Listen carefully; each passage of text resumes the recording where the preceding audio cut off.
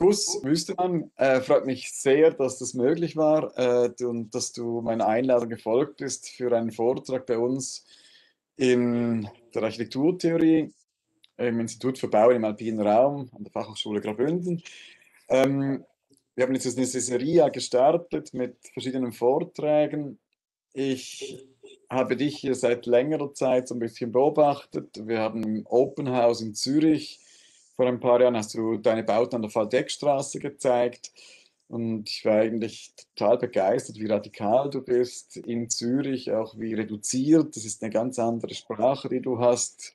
Es wird sicherlich auch damit zusammenhängen, dass du in Zürich und in Barcelona, mittlerweile auch in, New York, ähm, in Mallorca unterwegs bist, andere Sachen auch siehst und andere Vorgehensweise hast, aber irgendwo wahnsinnig architektonisch bleibst und, und, und, und, und nicht auf diese Design-Ebenen kommst, wie das oft vielleicht in so urbanen Kontexten passiert wie in, in der Schweiz oder in Zürich, sondern irgendwo eine ganz klare Architektur hast, die, die, die, die ganz direkt über das Material, über die Konstruktion, über die Räume, die du formst, ähm, Architektur bildet, Raum bildet und Interaktion zwischen den Menschen ermöglicht.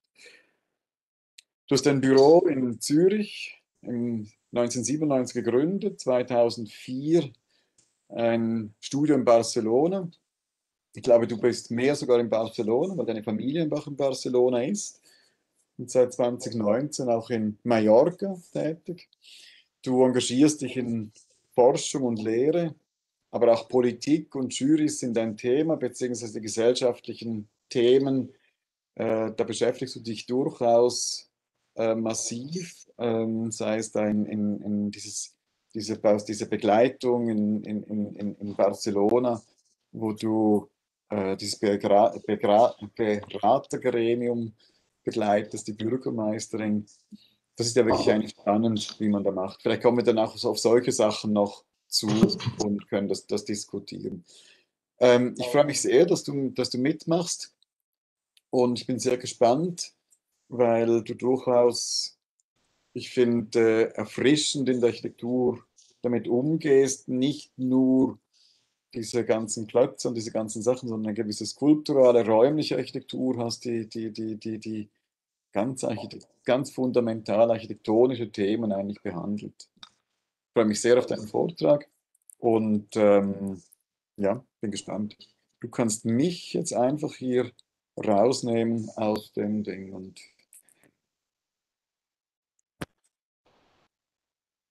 und freigeben. Muss ich aus, Entschuldigung, muss ich das freigeben jetzt, oder? Du musst es freigeben, ja. Jim. Also, herzlichen Dank, Daniel, für deine Einführung. Und ich möchte alle Studenten und alle Architekturinteressierten herzlich begrüßen zum heutigen Vortrag online. Mit dem Titel, du hast es schon sehr gut äh, beschrieben, ich habe den Titel gewählt, äh, strukturierte Topografien.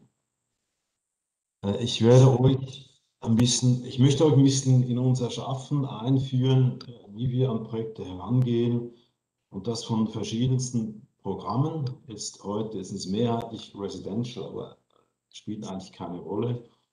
Es geht um verschiedene Größen, verschiedene Orte und es geht immer um diese Suche äh, nach diesem Schwerpunkt der Dinge, äh, quasi diese Morphologie. Also was ist, nicht wahr, was ist Architektur? Ist ja nicht nur, was wir jetzt irgendwie gelernt haben, äh, eine Art Grammatik, die wir dann immer applizieren, sondern es hat doch viel zu tun. Es ist wie, wie so ein, ein, ein Cocktail von, wir sagen ja auch Morphologie von Ort, Programm, den Menschen und dem Material. Und wir haben das dann so als Topografie äh, beschrieben, im Griechischen nur schnell. Topos heißt äh, Oberfläche oder Ort. Und Topografie ist eigentlich eine Ortsbeschreibung. Und ich denke, das kommt äh, unserem Suchen nach dem Schwerpunkt eines Projektes äh, eigentlich ziemlich nahe. Was ich euch zeigen werde, das sind ähm, acht Projekte das geht von Zürich über Mallorca bis nach Kiew, von 135 Quadratmeter bis 4000. Das soll einen kleinen Einblick geben, äh, wie weit, äh, weit äh, der Range ist. Das ist Pavillonhaus in Buchberg, ähm, dann Camboski Platscha, auf, auf Katalanisch heißt das das Waldhaus am Beach in Mallorca, dann bezahlbarer Wohnraum Landwindstraße 107 in Zürich, dann Dschungler Mallorca, der Wettbewerb Genossenschaftssiedlung Freihand in München, ein ähnlicher Wettbewerb gleich nochmals, Mehrfamilienhäuser Bad Ragaz, dann der Research Campus in Kiew und zum Schluss äh, das Haus, was du schon erwähnt hast, Daniel, äh, Haus Feldeck in Zürich an Bau. Ich fange an mit äh, dem Pavillonhaus, das ist der Neubau. Äh, das ist ein Haus in Buchberg, äh, das ist ein kleines Dorf nördlich im Kanton Zürich, oder pardon, schon Schaffhausen, pardon, äh, ist ein Dorf. Ihr seht hier am Schwarzplan, natürlich war das mal Landwirtschaft. Und wie viele Orte hat sich das natürlich dann aus den Bauernhäusern, auch Nichtbauern angesiedelt. Und man kann sagen, es ist eigentlich so eine Art Einfamilienhaussiedlung ans Dorf angehängt. Ähm, das ist ein Bild vom Ort. Jetzt ist es so, dass eigentlich die Typologie vom Ort nicht dieses, es ist äh, eigentlich landwirtschaftlich, aber halt so, äh, jetzt nicht aglo, aber also semi-urban eben äh, mit Einfamilienhäusern wird das verdichtet. Aber die Typologie sind diese alten großen Dächer, ja, diese Landwirtschaftshäuser, diesen überkragenden Dächer, wo man dann früher noch das Material draußen hinstellte. Äh, die Sachen wurden nicht nass, auch Brennholz und so weiter, vielleicht noch Tiere. Und dann gab es über diese großen Dächer, gab es wie diesen Zwischenraum zwischen Haus und Außenraum was halt eben dieser Übergang ist, ein, sowieso eine wichtige Stelle, aber auch ein sehr schöner Ort in dem Sinn. Das war wichtig für uns. Und dann auch einfach die Typologie, das geht bis ins Alpine. Äh, Daniel, da bist du ja Experte. Bist du denn äh, natürlich den Stellen in Graubünden, äh, wenn ihr das vielleicht schon gesehen habt, das sind dann eigentlich diese, diese wunderschönen, diese alle vier Ecken, jetzt wenn man so einen Stahl nimmt, das ist dieser Stein, äh, wo das Massiv aufgebaut wird. Also die Bauern haben das ja immer selber auch gebaut. Und dann in diese massiven Ecken wurden dann einfach, wurde dann das Holz, die Holzkonstruktion reingestellt und dann das Steindach äh, darüber. Und das sind diese Assoziationen, quasi Typologie von diesen Dächern und dann wieder dieses ursprüngliche Fass, dieses alpine, äh, wie ist es gemacht, nicht mit diesen Steinen und diesem Holz, und so haben wir dann diesen, das neue Haus als Hybrid, äh, nicht jetzt mit Stein, sondern mit Beton und Holz ähm, geplant, das ich euch gleich zeigen werde. Das ist der Blick zum Haus. Ich habe extra dieses Foto gewählt, damit ein bisschen ein, ein Gefühl für, für den Kontext gibt. Nicht? Das ist einfach die, diese Einfamilienhaus, endlose, gibt es ja endlose Beispiele. Diese Einfamilienhäuser, äh, mit diesen ja, halt klaren Typologien, auch es ist vom Baugesetz vorges äh, war halt vorgeschrieben, äh, Satteldach mit einem Kreuzgiebel, das ist ein Kreuzgiebel, nicht? Und äh, quasi äh, viereckiger äh, Grundriss. Und dann war eigentlich die, die Mantellinie des Projekts schon definiert. Und da muss man, und dann kann man natürlich schon noch ein bisschen tiefer gehen. Also wie kann man aus so einer äh, fast ja, man kann das jetzt gut finden oder nicht, dieser Kontext, aus diesem sehr starken, äh, fast kontaminierten Kontext. Wie kann man da eine Kraft entwickeln mit einem kleinen Projekt, äh, das irgendwie doch noch eine Energie irgendwie versprühen kann, äh, das über äh, das Gefühl von einem Einfamilienhaus mit einem Dach und so, an einem Garten und Rasen, da habe ich das Bild mit dem Rasen und diesen Ecken und so nicht. Äh, ja, wie, wie, wie kriegt man das zustande? Und da wir uns eben fokussiert auf diese Typologie. Eigentlich machen wir ein großes Dach. Und wie ihr schon seht, ist unter diesem Dach ist eigentlich fast nur die Hälfte ist dann beheizt und bewohnt. Und die andere Hälfte, oder sind zwei Drittel, ein Drittel vielleicht genau, die andere Hälfte ist einfach das Dach als offener Außenraum wie eine Scheune. Nicht? Müsst ihr vorstellen, diese großen Scheunen, wenn man da reingeht, diese wunderbaren Räume, äh, ohne Programm. Es ist fast nur äh, quasi zum äh, Sachen reinstellen, Heu und so weiter. Aber es sind eben schöne Räume, weil sie so, so frei äh, wirken.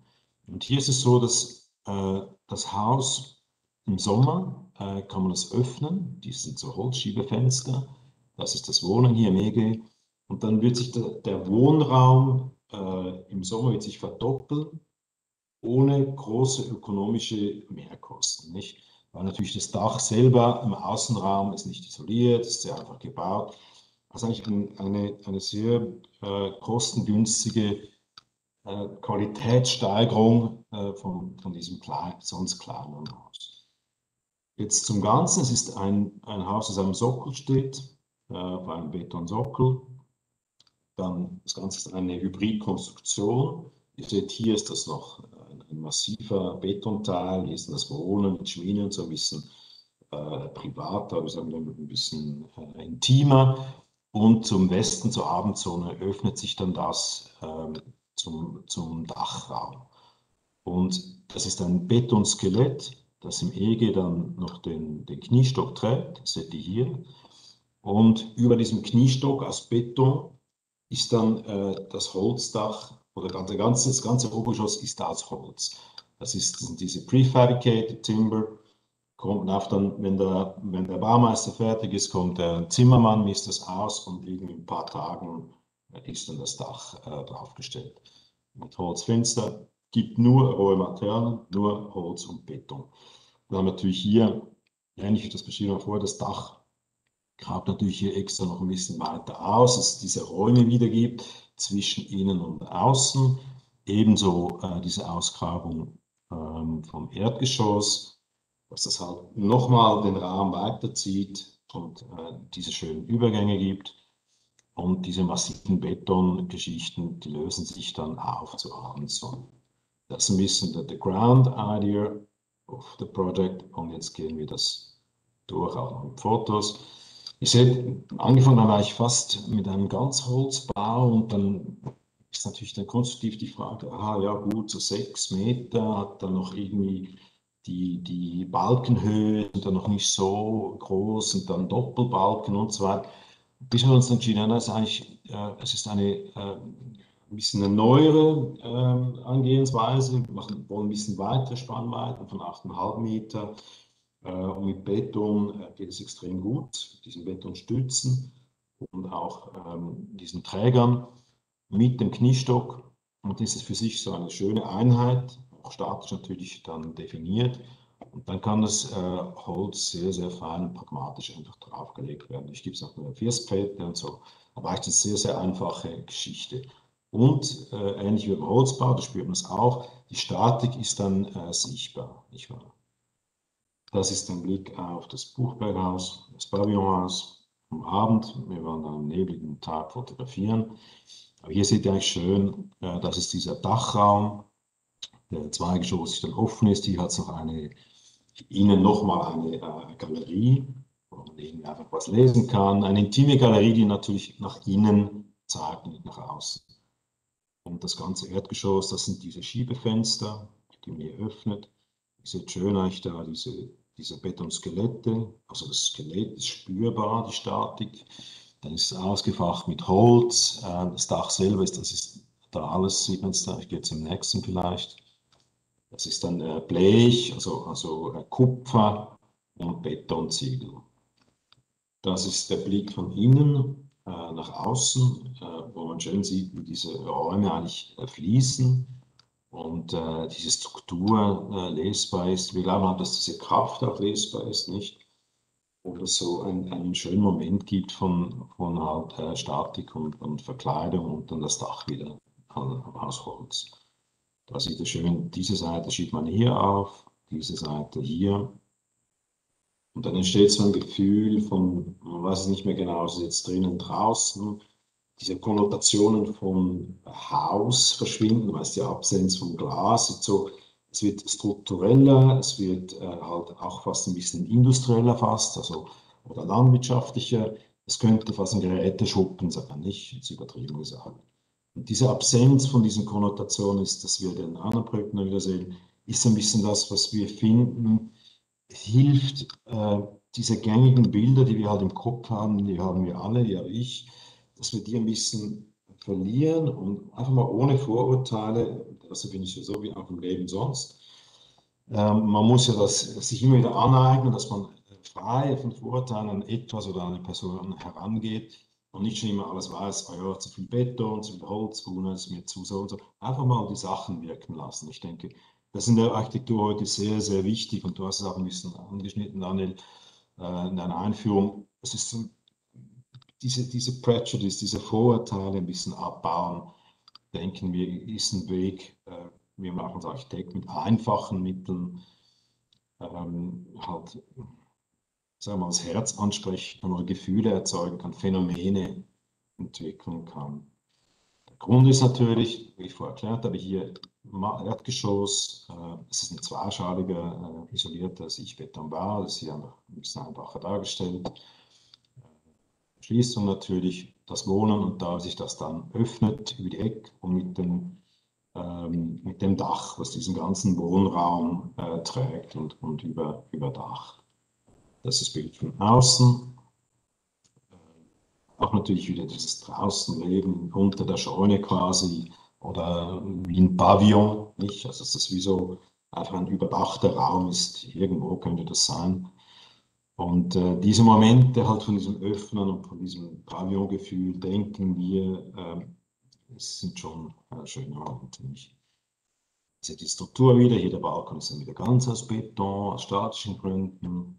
Hier sieht man gut die, die, die, äh, die Kupferbleche und alles wieder Holz, Beton, äh, Ziegel. Also alles, es gibt kein gestrichenes oder verputztes Material. Es ist alles einfach, wie es kommt. Und diese, diese rohen Materialien, ist auch ein Thema, das ihr sehen werdet, das geht dann durch alle Projekte durch. Wir glauben auch, es gibt auch keine Hierarchien im Leben. Genauso wie es ist, dass es keine wichtigeren Menschen gibt als andere, sind alle gleich wichtig und alle mit den gleichen Respekt. Denken wir auch, dass bei den Materialien gibt es nicht High-End und Low-End, es gibt einfach Material und es gibt einfach Oberflächen und äh, das, das äh, kommunizieren wir eigentlich äh, so auf diese Art. Und dann geht es halt um Räume und wie wir Menschen halt in diesen Räumen äh, uns bewegen und Programme natürlich auch noch. Ist wieder das Wohnen offen, über Eck, natürlich jetzt auch Küche, hinten noch die Feuerstelle. Ihr seht die, die Betonstruktur, die Skelette. Feuerstelle natürlich mit dem Fensterchen und so. Und das ist ein Blick nach oben. Äh, das ist das erste Obergeschoss, wo ihr seht, das einfach dann alles als Holz. Hm? Da muss man die Türen irgendwie abgeschnitten und so weiter. Irgendwas das ist der Blick von unter dem Dach auf der Galerie, runter auf den äh, Wohnraum, der jetzt offen ist, und gegenüber äh, auf dem Schlafzimmer und, und äh, Elternzimmer mit Bad und so weiter. Ja, jetzt kommen wir zum Projekt in Mallorca. Das ist äh, das Camboski Place. Das sind Calais und Barz. Äh, das ist äh, jetzt im Bau. Das ist ein kleines Wohnhaus und das ist, seht hier, vielleicht schwierig zu verstehen, aber das ist, das, ist das Meer, hier seht ihr Mallorca. Ja? Genau, also Spanien, nochmals Spanien, dann die Balearen, ja? also Ibiza hier, Menorca, Mallorca und im Südosten äh, von Mallorca ist Galeonvargas. Hier seht ihr die Küste, pardon, und da ist ein kleines Dorf und in der Nähe von diesem, von diesem Beach, von diesem Strand, ist dann hier so ein großer Torrent. Das ist so ein, ein trockener Flussbett, das dann einmal im Jahr irgendwie Wasser führt, wenn es stürmt und so. Und gleich oben dran am Hang äh, ist dieses Grundstück. Und das ist das letzte Grundstück äh, im Urwald quasi dort im Dschungel. Und da haben wir ein Haus geplant, äh, das quasi so am Hang, also im Berg runter, geplant auf, auf äh, zwei Etagen und, und äh, noch ein, eine Dachterrasse. Und das ganze Haus, natürlich Mallorca, erstmal ist es dort am Berg, ist im Wald und Mallorca geht es auch um, um Hitze und um Kälte und, und dann noch um Ansichten. Jetzt haben wir das Ganze als einfach nur Struktur. Ja, das ganze Haus ist eigentlich eine Topografie als Struktur den Berg runter. Und irgendwie hat sich das dann ergeben mit Probieren und Machen.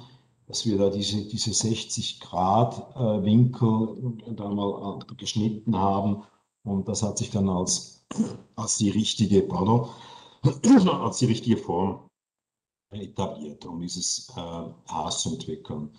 Und dann, es ist, äh, was ich mit Struktur meine, es ist eine äh, Betonstruktur.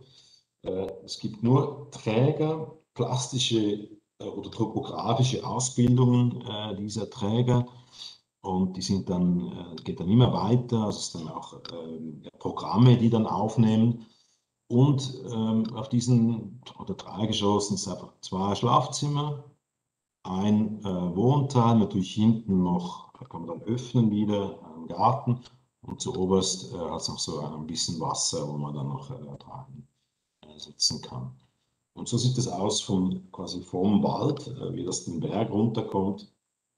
Und es ist diese äh, Struktur aus Beton, die hier wieder, da geht sie nach vorne durch den Berg runter, hier äh, wird es geschnitten mit den 60 Grad. Das sind dann, dass man hier die, den die Blick, die Öffnung hat zur Natur. Äh, gegenüber ist dann wieder zu und das gleiche oben. Es ist ein Spiel von Einblick, Licht und natürlich ähm, diese, diese äh, topografische oder, oder statische ähm, Skulptur, die natürlich dann plastisch schon auch visuell äh, diese Bewegungen mitmacht. Es gibt so einen Moment, wo dann äh, ja, eine gewisse, gewisse Point of Gravity, also einen gewissen Schwerpunkt erzeugt. Das ist noch schnell wie das Querset von hinten, wenn es dann wieder offen ist. Hier kann man natürlich wieder das öffnen, Übereck, die Struktur ist, ist größer mit dem Balkon rundherum. Da sind ein Stein, eine Küche ist draußen, geht es einfach weiter als topografische Erweiterung und Programm das gleiche. Und von unten sieht es so aus die Betonstrukturen in sich natürlich sehr, sehr äh, roh und, und kraftvoll und, und, es gibt natürlich dann keine Möbel mehr, das sind irgendwie ist alles mit eingebaut. Und zu oberst dann äh, gibt es noch ein bisschen Wasser, wo man dann quasi mit dieser Tribüne und dass man dann nicht runterstürzt, ein Meter mal ein Meter, weil das nicht irgendwie am oder unter dem Wasser oder drüber, sondern so, das ist eine Pyramide, die dann genau äh, über dem Wasser steht. Und dann sieht man da halt ähm, über den Wald, und das ist ein Haus im Wald, aber es ist in zwei Minuten vom Strand entfernt, Gamoski Platsche. Jetzt kommen wir zum, äh, Bezahl, zum Projekt Bezahlbarer Wohnraum für alle der Isabel und Bas. Bechi Stiftung in Zürich. Äh, das war ein sehr wichtiges Projekt für uns, äh, für, ja, für uns und die Stiftung, weil wir halt zeigen wollten, wie wir mit äh, bescheidenen ökonomischen Mitteln qualitativen Wohnraum für alle äh, schaffen können, der dann auch äh, billig vermietet werden soll. Das war die Aufgabe, die die Stiftung uns so gestellt hat. Und die Stiftung hat auch Wort gehalten und die Wohnungen sind heute, das ist äh, dreieinhalb Zimmerwohnung ab 1500 Franken und die vier, die sind 65 Quadratmeter und die viereinhalb Zimmerwohnungen, das sind glaube ich über 90 oder so, ähm, für 2000, fangen wir bei 2000 Franken Miete an. Das Projekt ist äh, in Albisrieden, kennt ihr vielleicht, also Zürich hier, dann ist es da, das war ja mal ein Dorf, das ist Stadt Zürich, das ist hier, die Nähe vom Triemli, Uetliberg. Und das ist die Situation, das ist die, der letzte Graben, die Straße, so mit Bus und so weiter. Das ist die Langbildstraße, seht ihr hier. Und das war quasi äh, so ein, ein Hof, wo halt noch Baulandreserven waren, äh, wo jetzt diese Stiftung äh, noch dieses Land hatte, um ein Projekt zu gestalten. Und hier ist noch ein Fußballplatz, was natürlich lässig ist für die Kinder äh, der Anwohner. Und vielleicht noch typisch hier, ihr seht noch diese, das sind diese Riegelbauten, äh, aus den 50er Jahren und mit diesen durchgehenden Grünräumen, äh, was, man, was man so schnell als Agglomeration abtut, aber einfach unglaublich schön ist, äh, dort zu wohnen. Das ist eine, wirklich eine, ich finde das eine unglaubliche Qualität. Jetzt, was man vielleicht noch ein bisschen dann ändern könnte, dass diese Grünräume nicht alles als Rasen ewig gemäht werden, sondern noch ein bisschen äh, Biodiversität, ein bisschen Pflanzen rein. Aber sonst ist es eine sehr, sehr schöne Situation. Ähm, vielleicht noch, genau, also diese, wir haben dann diese, diese Innenhofsituation, äh, das Projekt selber sind dann diese neuen Wohnungen und äh, es ist dann, ergab dann aufgrund verschiedener ähm, Gründe mit, mit, mit Grenzabständen, mit so und so, aber es war ein, ein, ein Polygon, äh, ein Vieleck mit freien Formen, das ist eine Art Stein, diese Form. Und diesen, diesen Stein haben wir dann äh, zwei Höfe ausgeschnitten, nicht morphologisch. Und dort drin, äh, in diesen Höfen, haben wir dann die Wohnräume platziert. Das ist quasi, die sind wie im Außenraum. Kann man dann aber die, die Gläser ziehen, das sind dann normal im Winter beheizte äh, Innenräume. Aber eben topografisch fühlt sich das dann an wie im Außenraum. Das ist eigentlich so ein, ein wichtiges Detail, äh, um das zu verstehen. Nicht, nicht immer nur ein, ein, ein Programm, ein Residential-Programm zu verstehen, dass man, ah, man hat ein Volumen nicht, oder irgendeine Form und dort drin muss man dann irgendwie guten Recht noch einen Grundriss äh, organisieren und, und am Schluss kommt man halt immer ans gleiche Ort. Es ist immer die, der Außenwand, man hat diese Protagonisten nicht, man hat, man hat die Fassade, man hat Trennwände, aber man hat kein Gefühl, man hat kein topografisches Gefühl für das Ganze. Das versuchen wir hier, ich möchte euch dann zeigen, wie wir eigentlich zu diesem äh, Punkt kommen, wo man den Innenraum nicht mehr versteht als die Fläche begrenzt, einfach durch die Wände, die diesen Innenraum begrenzen, sondern dass man gefühlsmäßig Teil etwas Größeres ist. Und da ist noch schnell eine Skizze, wie diese Höfe dann, wie die Wohnräume, wie Brücken, nicht wahr, von, von der Morgensonne oder umgekehrt, von der Morgensonne zur Abendsonne da drin liegen. Und in den Massen sind dann auch die Schlafräume. Und da ist es äh, Polygon Viereck und die beiden Höfe und so sieht es dann aus äh, mit den Wohnräumen drin. Und da seht ihr, denke ich, gut, was, was gemeint ist mit, diesen, mit, mit, dieser Topografie, dass diese Masse nicht, die da hier weitergeht, das sind diese Höfe, die wirklich rausgeschnitten sind und diese Fenster, das war jetzt ein Element, das halt nicht das billigste war, nicht? Da haben wir ein bisschen was investiert, um halt diese äh, Kraft zu erzeugen, diese Absenz von, vom Glas, dass man dann da im Wohnraum das Gefühl hat, ja, man sah einen Außenraum. Und dann liest man eben, wenn man hier ist, liest man eben diese Masse mit, nicht wahr? Man, man, man positioniert sich gefühlsmäßig wie äh, irgendwo in der Natur, äh, beim, weiß ich was, äh, beim Felsen, unterm Felsen, äh, auf dem Felsen, wo nicht irgendwie, äh, ich bin jetzt in einer kleinen Wohnung und äh, in Albisrieden und Schleben. Und genau, das sind diese offenen, offenen Wohnräume auf beiden Seiten.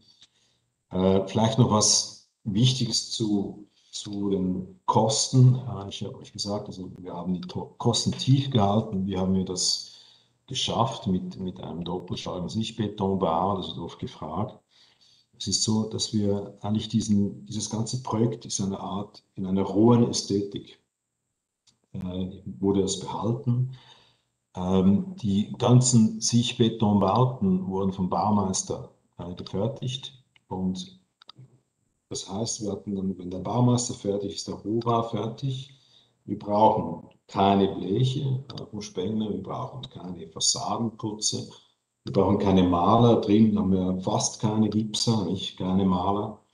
Und schlussendlich äh, kommt man dann eben fast oder auf die gleichen äh, Kosten wie irgendwie so ein komische äh, Kompaktbau?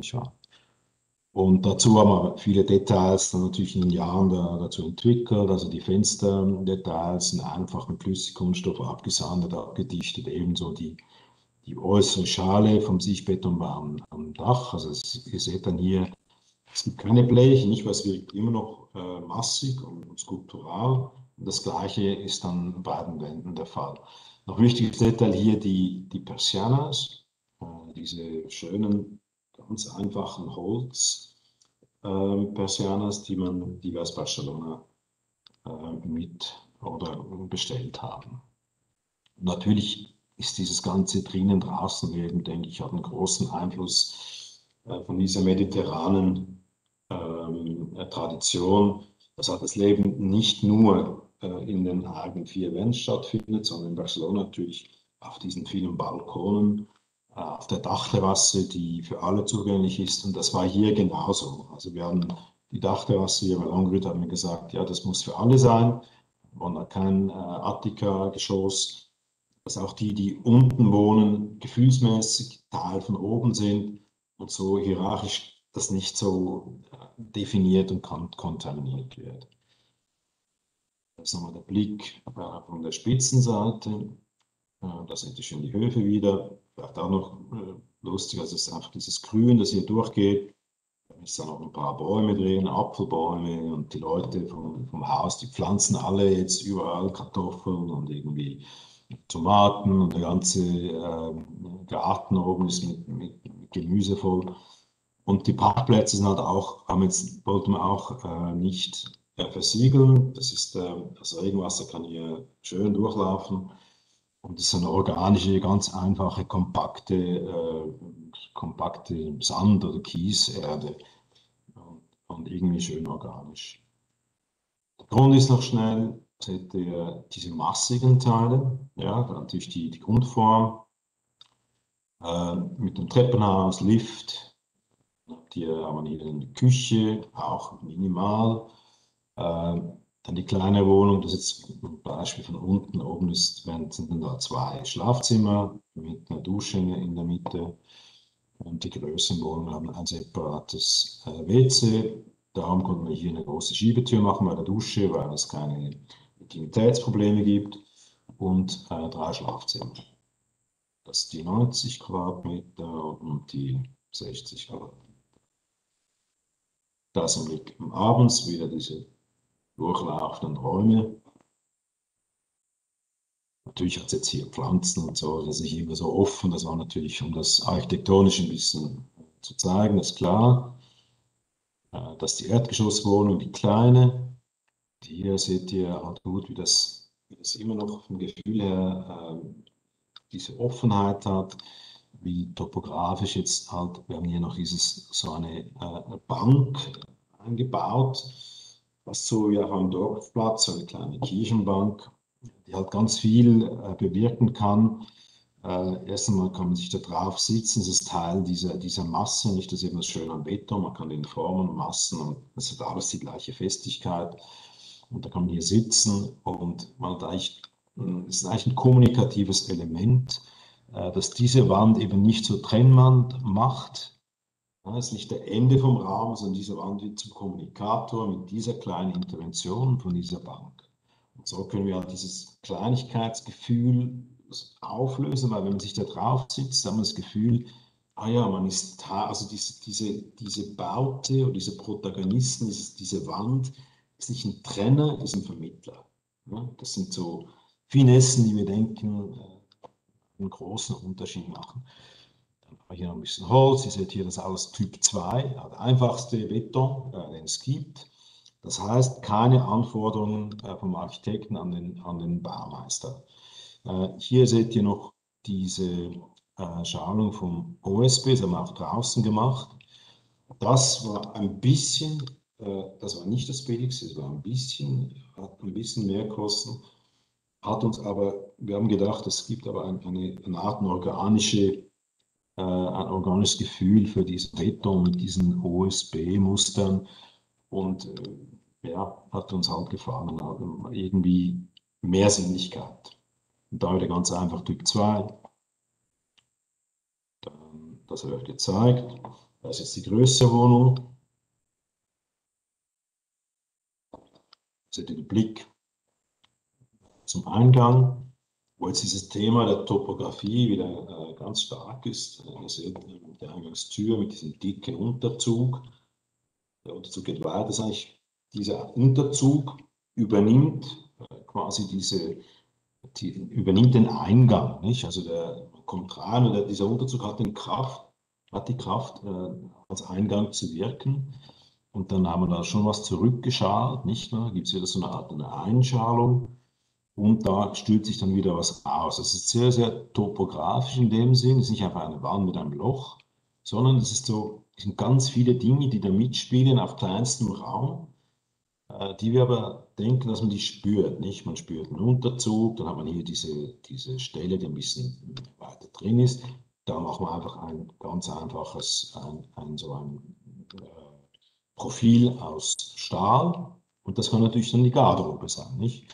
Aber es wirkt nicht als Garderobe, es, wirkt, es ist Teil des, des Rohbaus. Nicht? Dann der, die, das ist eine Art Bank, da kann man sich die Schuhe anziehen, ausziehen, dann geht es weiter, kann man einen Tisch hinstellen bis zur Küche, wo man dann dort ein Glas Wein trinken kann.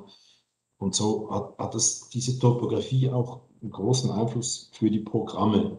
Nicht, dass es so einen mitnimmt, das aufnimmt, ohne dass wir jetzt hier irgendwie einen, einen äh, Eingang und dann irgendwie äh, eine Garderobe und dann x Schreinermöbel und so weiter. Nicht? Das haben wir natürlich dann auch so vereinfacht, aus Kostengründen, aber wir finden natürlich auch, dass das einfach auch viel spannender ist, nicht? Weil es keine Addition von Dingen ist, sondern topografisch mitnimmt und die Dinge, das Narrativ quasi aufzieht, aber man ist frei. Draußen diese, wieder diese schönen Persianas, die natürlich in der Tradition von Barcelona, müsst euch vorstellen, sind in der Stadt.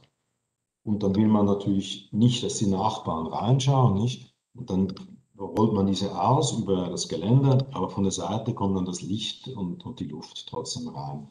Und der Balkon wird natürlich so erweitert als Wohnraum äh, zum bestehenden Wohnraum. Und die Gläser sind dann hier und die kann man alle da in den Bahnhof äh, reinschieben. Da seht ihr noch die, die Schiebetür. Ist auch wieder so ein topografischer Moment und nicht einfach eine Wand mit einem Loch und einer Tür, irgendwo rein, irgendwas. Das ist keine Addition artistische Addition von Dingen, sondern das Bad wird hier auch noch als, als gemeinsamer Raum verstanden. Das kommt, das kommt man gleich später, denke ich. Ich glaube, eins weiter. Blick halt von dem Balkon, da seht ihr ein bisschen, wie das, diese Skyframe-Fenster da in diese Beton angepasst wurden. Äh, Beton und einfachste Geländer. Das ist der Blick zur Nordseite. Ähm, hier sieht man auch wieder schön diese Bank von der anderen Seite. Wie gesagt, dann, äh, man kann hier einen Tisch hinstellen, äh, man kann hier sitzen, das kommunikative Element, da kocht jemand. Und das ist dieser Schaltraum, der Schlafraum oder, oder Arbeitsraum sein kann. Äh, einfachste Boden, sehr schöner Boden, das ist ein Hartbeton, 12 cm. Äh, und ist etwa ist, ja, von den Kosten her ein Unterlagsboden, ist aber natürlich der Fertigboden das ganze Haus. Ja. das sind natürlich dann so, so Stellen, wo man dann unglaublich eben äh, Geld sparen kann, äh, weil man natürlich auch die Ästhetik in dem Sinne so äh, äh proklamiert, nicht? dass wir das, das sind keine Zufälle, auch diese Typ 2 äh, Betonwände mit diesen großen Arbeitsspuren, das ist irgendwie, oh ja, äh, oh, sieht das so aus. So, da muss man natürlich dran glauben und das auch dann wollen, dass man halt eben nicht, die Absence of Design ist dann eben nicht, äh, äh oh, der Dauerando und sondern es ist einfach dann, es kommt von, von, äh, von, von der äh, Konstruktion, von der Baustelle und das ist die Ästhetik, Arbeitsspur und Material. Und hier die Küche schnell in diese Typ 2, wie ihr vorhin gesehen habt, nicht? Und das sind einfach die Perischalungen, das sind diese ganz großen, die machen zusammen, tack, und irgendwie kommt das dann raus. Und uns gefällt das, ich bin ehrlich, uns gefällt das natürlich, diese, diese äh, hohe Ästhetik nicht. Und dann bei der Küche noch äh, wichtig, ähm, ja, es muss halt eine sehr kostengünstige Küche sein. Jetzt, wie macht man eine, Küche, ein Möbel, das günstig ist, aber nicht billig aussieht? man muss es halt auch überdenken und man macht es einfach anders. Nicht, nicht, einfach nichts wie in der Norm. Ähm, dann haben wir gesagt, wir brauchen natürlich Wasser, ist klar, haben wir hier diese, äh, das Wasser ist logisch, Waschbecken und dann aus Metall, diese Oberfläche als Inox, das kann man dann hochklappen. Und der Kocher selber ist nicht eingebaut. Ja, das ist so wie beim Campen, äh, stellt man den da drauf, steckt ihn rein und dann kocht man. Und sonst versorgt man den in einer Schublade. Und dann ist das Programm Küche fast inexistent, ja, aber der Raum ist eigentlich immer noch Teil vom Wohnen. Und es verschwindet. Und diese, dieses Inexistente, also diese Nichtkontamination von diesen ewigen Programmen, diesen Räumen, finden wir es halt eine Art äh, ähm, Erleichterung nicht? und visuell auch ein Plus. Dann haben wir natürlich hier auf, die, auf diese Küchenregale zu verzichten, ist klar, weil natürlich das dann in dieser Reinheit auch äh, so bleiben sollte. Sonst hätte es schon nicht mehr funktioniert, würde ich mal sagen. Da sieht das kann rausklappen. Das ist vorher, was ich betont habe, das, das zum Bad, vom Wohnen in der großen Küche. Das WC ist nicht hier drin, ne? muss keine Angst haben, da hat man nichts.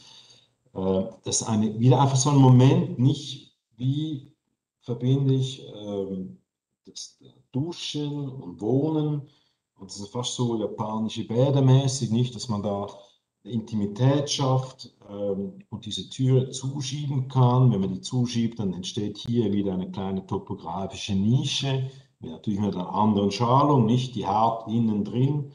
Und dann hier berührt das etwas, nicht? Das ist dann auch schon wieder, hier sieht man, äh, wo das dann hingeht, nicht? Das ist dann auch schon, vom, die Massivität ist auch schon, also das Design von der Bewegung, nicht? Das ist nicht irgendwie Ästhetik, sondern das ist halt aus der Bewegung selber, aus der Veränderung vom Raum offen zu. Und hier geht dann wieder so ein kleiner Bank weg, wo ich wieder eine Tasse Kaffee trinken kann und so weiter. Also das ist diese, wir sehen das halt als, als einen Moment der Übergänge, nicht? Und nicht einfach eine Türe, die offen und zugeht. Das ist Blick nach vorne wieder, eine Kleinwohnung und hier auch ganz pragmatisch dieses Geländer was für eine Bushaltestelle, sechs Meter, Boom, ein Winkel und äh, Maschendraht drauf. Auch hier auf No Residential, ne? wichtig, keine Residential Connotation. Die, die Bank wieder und alles Low Budget, ne? das muss man schon äh, mit dem Kopf äh, behalten. Oft wurde es, also wir hatten sehr, sehr viele äh, Besucher, Architekten aus, aus, aus ganz Europa und viele Journalisten, die geschrieben haben, und oft wurde auch das Wort Luxus äh, benutzt, nicht? Und äh, das ist eben nicht, es ist einfach eine andere Herangehensweise äh, mit den gleichen Mitteln. Nicht? Und wir wollten halt sagen, auf kleinem Raum, wie auf kleinem, wie wir auf kleinem Raum Großzügigkeit äh, entstehen lassen können. Und das denken wir, schaffen wir mit äh, diesem topografischen offenen, oder ihr seht, wie das man spürt, das Ganze mit, mit diesen äh, Räumen. Das war das, dann das Treppenhaus, das ist einfach und so, und Typ 2 und Holz war noch wichtig, also Holz gibt schon auch eine Wärme, äh, den Beton, muss ich ganz ehrlich sagen. Ganjungla, wieder zurück in Mallorca. Sind äh, zwei kleine Wohnhäuser, gleich neben dem anderen Projekt äh, von Gamboski Placia. Und das zeige ich jetzt eher äh, auch wegen der Physiognomie ein bisschen. Das ist die beiden Häuser jetzt nicht am Hang, die sind unten in diesem Wald. Und äh, dort ist man mitten in diesem Grün drin und irgendwie ist die Dachterrasse, oben ist dann der, der sonnige Ort und, und unten äh, und irgendwie hat sich dann diese, ist auch wieder ein, ein, Hybrid aus, aus Beton und Holz und irgendwie hat sich dann diese äh, Form geben, was schon fast ein bisschen an eine Infra Infrastrukturbaute erinnert. Äh, und das ergibt dann diese, diese Träger, äh, die sich aber so quasi öffnen, äh, nach oben zum Himmel, äh, natürlich unten das EG äh, so beschützen, oben das alte Stützen und beschützen. Und eigentlich auch eine kraftvolle Struktur aber, aber äh, so skulpturell physiognomisch noch, noch eigen, nicht? Und, und drin wird dann einfach mit Holz, werden dann die Zwischengeschosse angebaut. Alle Installationen sind in diesem Beton drin. Das ist nur noch Holzbauer, Fenster und, und äh, Zwischengeschosse. Und so ist dann dieses Gefühl, quasi in diesem grünen äh, Urwald äh, geschützt durch diese große Dachterrasse, wo man natürlich auch noch hoch kann. Auf der Dachterrasse ist. Es sind zwei Twin-Häuser, ganz einfache Konstruktion, die Grundrisse und so wirken die. Ist Mallorca, man hat fast das Gefühl, es könnte Brasilien sein. Das sind die, die Wohnräume, wie natürlich kann man alles öffnen hier, nicht? Sind diese, dann diese Fenster, klappt man hier hin, das sind einfache Schiebefaltfenster. aber die gibt einen schönen Eindruck von diesem, ich man spürt den Wind gleich ein bisschen durch, die Brise durchgehen. Dann äh, ein Genossenschaftsziel, ein Wettbewerb, Freihampton 2019 in München. 42 Wohnungen, das war Freihampton, ist so eine Stadterweiterung, ein neuer Stadtteil quasi im Grünen. Äh, da gibt es schon x Projekte und, und Wettbewerbe. Wir haben da nichts gewonnen, äh, aber ich möchte euch das zeigen, einfach ein bisschen wieder, äh, wie wir mit einfachen Strukturen Qualität erreichen wollen. Und es war diese Parzelle, äh, auch äh, die Wahl kein Blockrand äh, zu machen, sondern eigentlich äh, so eine durchgrünte Situation mit, mit drei Solitären. Und da, wie kam man zu dieser Lösung? Also sehr, sehr pragmatisch, eigentlich eine, ein, ein Skelettbau, Skelettbau aus Beton, aber einschalig und der trägt. Der geht bis nach außen, also ist dann nicht isoliert. Also die Isolation ist dann im Boden und in der Decke, wo die Holzelemente äh, quasi äh, reinkommen. Und das auch ist also einfach ganz einfache Struktur, die dann wieder quasi gefüllt wird. Hier seht ihr die äh, mit diesem Holz zum Teil äh, natürlich Fenster mit, mit den Holz äh, Sonnenschirm, äh, Sonnenläden, pardon, Holz ganz ausgefacht und dann auch wieder diese, diese durchgehende und mit dem Dachgarten, das ist eine Landwirtschaft, aber Dachgarten für alle.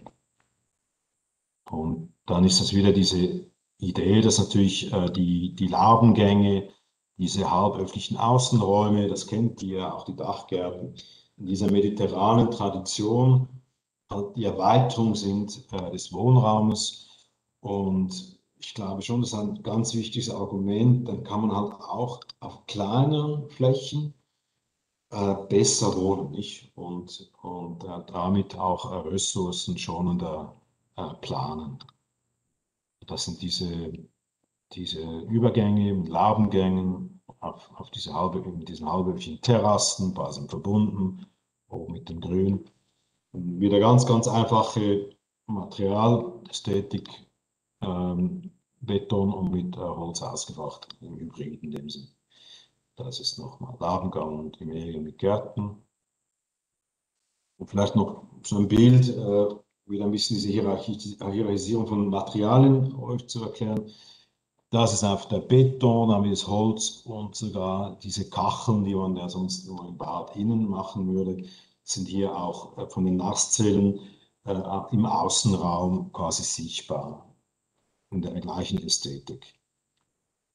Äh, dann ein ähnlicher, äh, in, in ähnlichem Geist ein Wettbewerb, äh, Mehrfamilienhausprojekt Heuteil in Bad Ragaz. Äh, eine ganz heterogene äh, Geschichte. Bad Ragaz äh, kennt viele von euch sicher, im Osten der Schweiz. hier ist das Grundstück, da ist der Rhein, geht hier durch. Und halt sehr, sehr heterogene Geschichte. Hast du mal Einfamilienhäuser oder Mehrfamilienhäuser, große Industrien und doch ein großes Grundstück. Und wir wollten jetzt halt ein Projekt machen, das eine Kraft von sich selbst entwickeln kann, von innen, sodass man nicht und dass alle quasi gleiche Qualität von Außenraum haben.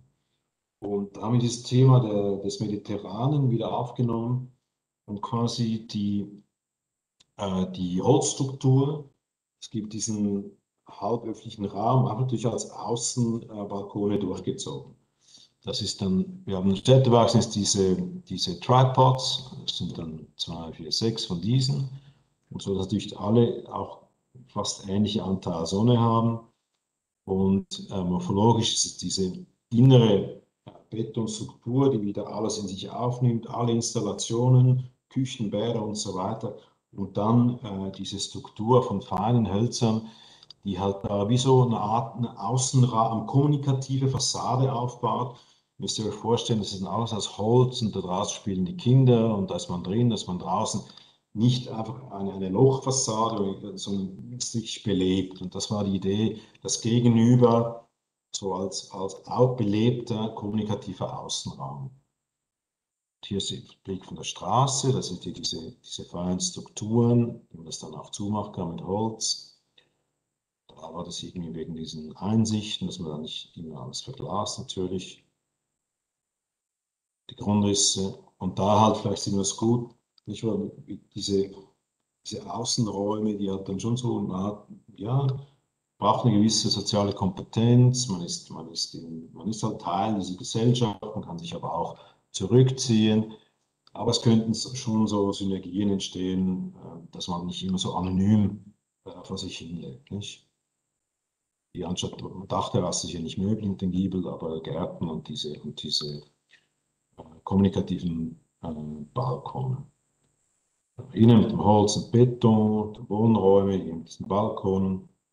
Das ist die Erschließung, auch innen Dachraum. Dann noch kurz äh, ein Projekt wieder was ganz anderes. Das ist ein Research Campus in Kiew. Das war ein äh, eingeladener äh, Wettbewerb.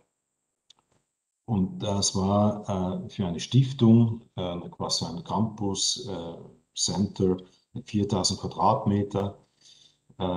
Ja, jetzt wie kriegt man sowas hin? Nicht aus 4000 Quadratmeter in eine Struktur, die doch auch noch irgendwie eben diese Kraft hat, diese Orientierung, diese Topografie. Und da haben wir dann dieses, dieses äh, Ding erarbeitet.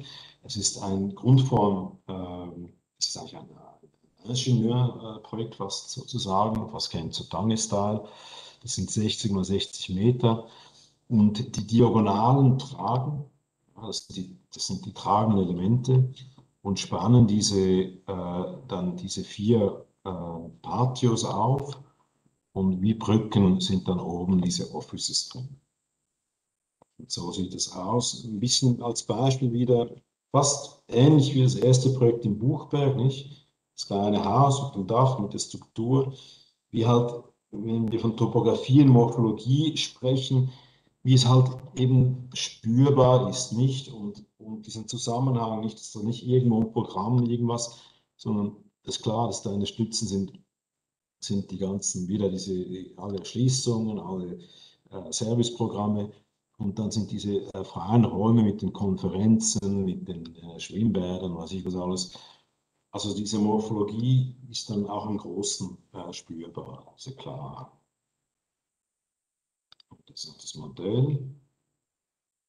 Da ist dann noch irgendwie so ein Bootshaus und so dazu, das sind Sportplätze und Gärten und da sind ja halt diese, diese Diagonalen, wie dieses Element auch. Es ist eben sehr, sehr groß, das sind 60 Millimeter, 4000 Quadratmeter Programm.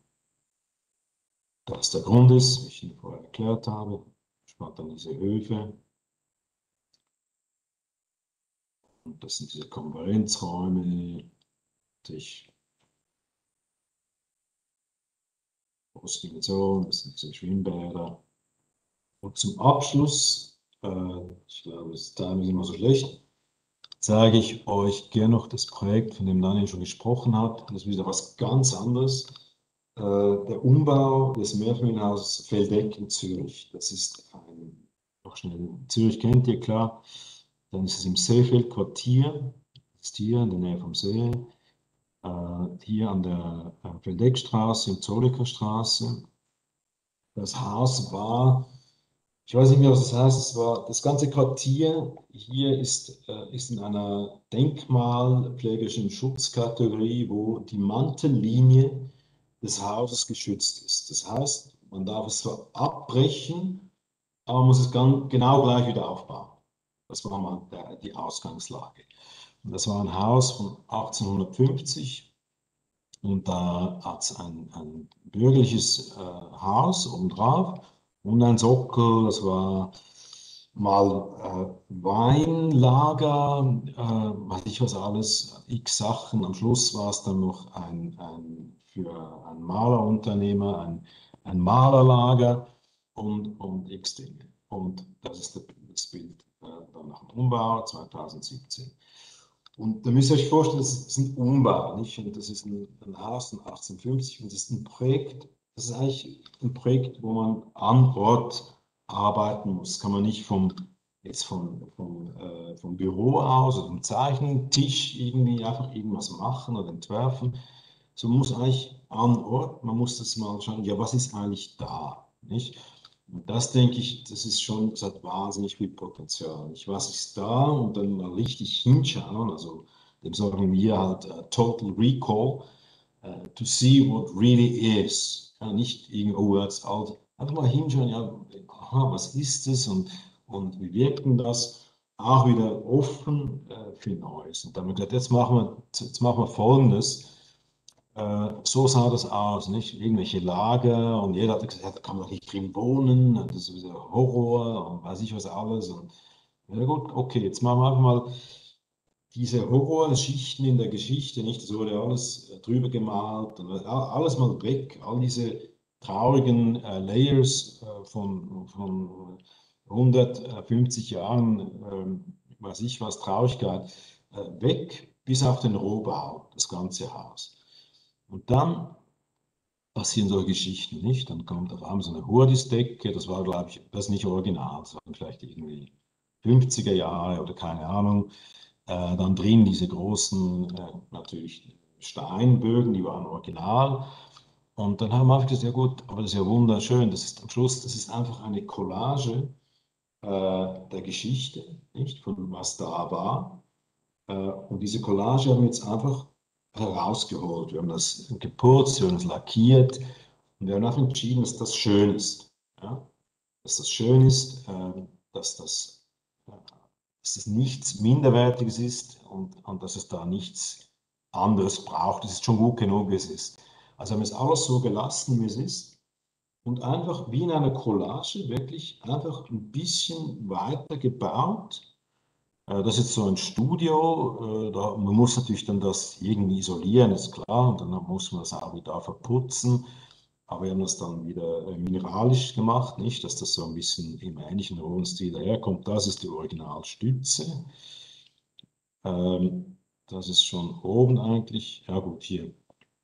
Ähm, dann haben wir natürlich, mussten gewisse Programme, wir mussten auch eine, eine Küche äh, irgendwie einbauen, haben wir natürlich aus Stein gemacht, ist klar. Hier habt ihr wieder unsere berühmte Betonbank, äh, wieder das Massive. Ähm, und, und so ist, ist dann dieser auf ist ein sehr, sehr reichhaltige Raum entstanden, weil eben diese Oberflächen nicht, die waren ja nicht von uns, nicht? Oder nicht irgendwie gewählt oder ja, das muss jetzt Typ 4 putzen, dann weiß streichen. Ich weiß ja gar nicht, von wo das kommt, ehrlich gesagt. Ich weiß gar nicht, wen, wen das interessiert. Nicht? Also ich finde nichts Langweiliges, als eine weiße gestrichene äh, ähm, Fläche äh, hinzuschauen. Und, und hier äh, schauen wir hin, wir sehen die Geschichte, wir die Zeit, es ist, es ist irgendwie, hat sich, hat Patina, es, man spürt die Kraft. Es, es, ja, es hat, eine, es hat eine Oberfläche, genau gleich diese Stütze, ja, halb kaputt, äh, sieht die Steine. Und dann gehen wir, glaube ich, hier mal noch rein. Ah, das ist die andere Seite. Da sieht man es gut. Da haben wir, das ist alles Bestand. Natürlich muss man, im Haus gibt es Installationen, da muss man Installation einbauen. Da ja, ja gut, die machen wir auf diesen riesen Installationsschacht und den verkleiden wir mit, mit so transluciden äh, Scobalit-Elementen. Licht rein und das ist dann quasi die, das Leucht, die Leuchtskulptur für diesen Raum. Äh, und dann ist das, ist das diese, ja, halt irgendwie, die wurde halt von den Installationen bestimmt, weil die mussten noch um die Ecke hoch und so. Also war die Form von Installation bestimmt. Sieht man auch noch hier. Dann das haben wir reinbetoniert, nicht? Eine Treppe rauf, dann hier noch eine Galerie, dann kommt eine Holztreppe, die hochgeht. Das war wieder original, äh, ein paar Fenster mussten. Also einfach eine Collage äh, mit dem Vorhandenen. Und dann geht es noch weiter. Das sind dann diese, waren dann diese Wein, äh, Steinbögen, nicht? Klar, fast Renaissance-mäßig. Ähm, und hier haben wir einfach diese Putze weggenommen und diese unglaublich kraftvollen Strukturen und Oberflächen erhalten äh, die halt quasi so nie existiert haben, weil es ist eine Rückführung dieses, dieses Gebäudes in einen Rohbau von 1850, den es so über nie gab. Aber wir sehen das als eine Referenz äh, natürlich ans Handwerk und wir stellen uns auch vor, wie die das gebaut haben und haben dann selber mit unseren Handwerkern, mit unseren Baumeistern da weitergebaut und halt topografisch dann jetzt mit Beton einfach weiter massiv, da uns halt Steine und jetzt mit Beton weiter äh, uns topografisch hier äh, bewegt, so dass eigentlich äh, das Badezimmer, Programm Badezimmer jetzt nicht äh, vordergründig das Wichtigste ist, sondern einfach irgendwo kann man in so einem Stein noch ein bisschen Wasser lassen. Aber die, die Kraft ist hier im Raum und nicht im Programm. Dann noch schnell oben, das ist das Haus, haben wir dann auch die, alles auf den Rohbau zurückgesetzt und kleinere Wohnungen, zwei kleine Wohnungen in, pro Stockwerk äh, platziert. Das sind einfach noch Leichtbau und diese Wand wurde dann einfach ganz freigespielt. Das war eigentlich dann das Projekt. Und äh, einfach so organisiert, man kommt in der Küche rein, es gibt eigentlich keine Erschließung, es gibt nur einen Rundgang. Und dieser Rundgang wiederum äh, gibt einem das Gefühl, dass eigentlich etwas nie aufhört und man muss nie zurück. Nicht? Man kann immer einfach weiterlaufen. Es klingt ein bisschen komisch, aber es hat wirklich ein Gefühl von äh, Endlessness. Und so sehen diese, diese Räume aus. Es werden natürlich auch zuerst dann alle diese Putz entfernt von, von diesem Haus und dann kamen diese wunderbaren, wunderschönen Steine hervor. Und das war eigentlich schon das Projekt nicht. Da muss man schauen, dass wir das nicht mehr stören, sondern das, was schon da war, ist so schön, äh, dass es nichts Besseres gibt. Und sogar, die Unterzüge hier sind 150 Jahre danach gelassen. Äh, und da auf diese Kunst, auf diese äh, Natursteinlagerungen draußen ganz massive Holzfenster draufgeschraubt. That's it. Dann entstehen so unglaubliche Geschichten, die man ja sonst gar nicht bauen könnte. Das ist aus vom Ort, vom Objekt. Das ist dann, wie es rundherum geht. Das haben wir dann mit Leichtbau. Klar muss man natürlich äh, dann, also auch Feuerschutz und so, aber das sind eigentlich H2O-Platten, das sind nicht Gipsplatten, sondern das sind äh, mineralische Platten, die man äh, dann mit so, äh, die wir mit äh, auch so Mineral äh, verputzt haben. Dass es steinig wird, nicht wie die, wie die äh, Telefon abstellen. Ja. Ja, und dann geht es weiter, geht es rundherum. Äh, hier ist äh, noch die Dusche, es ist hier sogar beim, beim, beim Bad ist der Spiegel auch verdeckt, dass nicht kontaminiert wird mit Programm. Hier eine Schiebewand, da geht die schöne, wunderschöne Steinwand weiter. Ja, that's it. Durch sind wir. Herzlichen Dank fürs Zuhören. Mich sehr gefreut. Super. Ganz, ganz herzlichen Dank. Ähm, tolle Projekte. Extrem. Auch diese, dieses, dieses Engagement, das ihr da habt. Also sind ja wirklich unkonventionelle Geschichten, die ihr da euch ausdenkt oder auch Herangehensweise irgendwo, aber wahnsinnig architektonisch und direkt und deshalb auch nicht.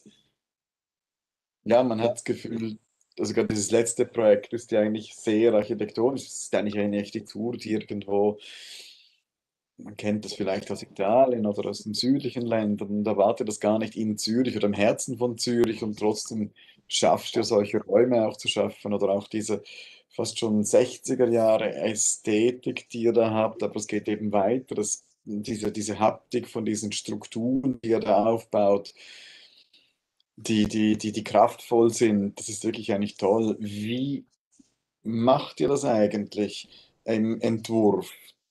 Arbeitest du am Modell 3D oder hast du tausende von Praktikanten, die irgendwie äh, an der Sägemaschinen irgendwas machen? Oder wie, wie entwickelst du solche Projekte? Wie machst du das? Ja, schon. Also natürlich äh, sehr, sehr, sehr fundierte und präzise Planungsarbeit. Aber jetzt technisch aus 2D und 3D. Wir machen weniger Modelle, physische. Inventursprozess sind es fast nur 3D-Modelle, die wir machen. Aber alles, alles, bis ins letzte Detail. Und das in jedem Maßstab. Und dann, wenn wir dann vielleicht schon ein bisschen weit, gibt es dann auch 3D, äh, gibt es noch reale Modelle zum Teil. Und so in, in der Probephase, wie viele Architekten und diese, diese Arbeitsmodelle, das machen wir alles äh, in 3D. Ja. Und dann ist bei dir natürlich aber auch offensichtlich die Baustelle wahnsinnig wichtig. Du, du hast das extrem gern. Das spürt man so ein bisschen. Also hier in diesem Projekt hast du gesagt, du warst viel auf der Baustelle, hast sehr viele Sachen auch teilweise auf der Baustelle entschieden. Musstest du auch, was ist hinter diesen ganzen Verputzen drunter? Was machen wir daraus und was nützen wir das? Kannst du dazu noch ein bisschen was sagen? Also das ist ja, die Baustelle ist irgendwo als Chance. Ja, natürlich. Also ich denke, die Baustelle ist, ist also bei uns, das ist einfach, das ist wie, äh, wie soll man das sagen, das ist die gleiche Wichtigkeit, nicht? das Ausführen, das Material, auch die Leute, die dort arbeiten, äh, mit denen reden wir immer. Oder? Also ich bin ja gerne mit den Leuten, die das bauen, weil ich einfach auch äh, staune, wie gut die sind, nicht? Und was die können. Und, und, und dann ist es so ein, äh, wir sind natürlich schon klar dann, wie es gebaut werden muss. Wir planen das ja, aber wir sind sehr, sehr nahe bei der Baustelle, sehr, sehr nahe bei den Leuten, die bauen. Und es ist ja eine Art Künstler, nicht? Und, und bei den Umbauten äh, sowieso. Also das kommt ja die Inspiration äh, von dem, was da ist, nicht? Und, und das ist natürlich mehr als, es ist auch natürlich diese, äh, ja, es ist einfach unbedingt, es ist ja schon da und, und, und, und es ist, und es gibt dann diese, ja, da macht man Dinge, die niemand machen würde, nicht?